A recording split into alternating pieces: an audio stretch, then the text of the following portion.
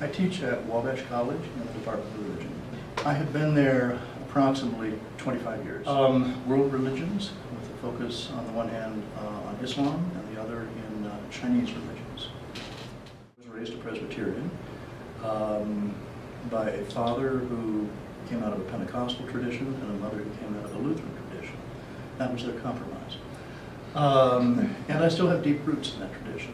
Part of that tradition is that it's, it's the Reformed tradition. You always question your faith. You ask about it. How can I state it as clearly as possible and make sense of it? Over the years, uh, I have come to have a kind of love affair with Roman Catholicism, to some extent Anglicanism. Um, I teach things like Zen Buddhism, um, Hinduism. Inevitably, these get mingled in.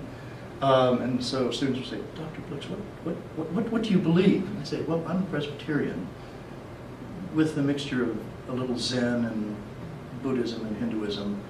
Um, and I know that's supposed to be impossible, according to some theories, but, but for me, that's how it plays out, if that makes any sense at all. So my faith is unshaken. I think it's enriched.